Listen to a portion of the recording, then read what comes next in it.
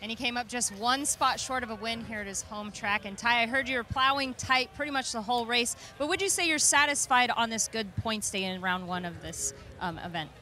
Well, I think the fact that we uh, missed it as bad as we did and we were as close as we were uh, is super encouraging. That means we have a lot of speed in our trucks. Uh, it's just up to us to hit the package right. Uh, you know, Joe and I put our heads together to, to come up come up with a, with our Phoenix package and, and, come up with some changes to it to try and make it better for Phoenix.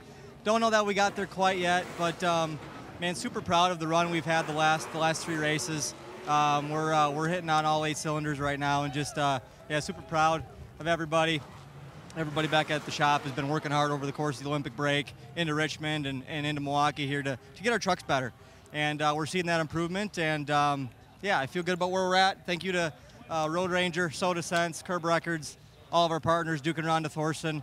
Um, we're poised to make a pretty good run here, so we got to keep it going. Looking forward to Bristol and Kansas. What kind of things are you guys working on as far as improvement goes, like you just mentioned? Well, the last two races, even though we've won them, we've made mistakes and have had to come back. And this race, I, you know, win or not, we wanted to have a clean race, no mistakes on any of our parts. Uh, we've all made them over the course of the last uh, two races, so we wanted to clean that up. Those types of things can be the difference between making it to Phoenix and not. Uh, so we want to clean those up. We did that today. Um, happy to be here in Wisconsin. Really wanted this one on my home track, but uh, hopefully we can come back and do it again soon. A solid points day here for Ty Majeski. Jamie.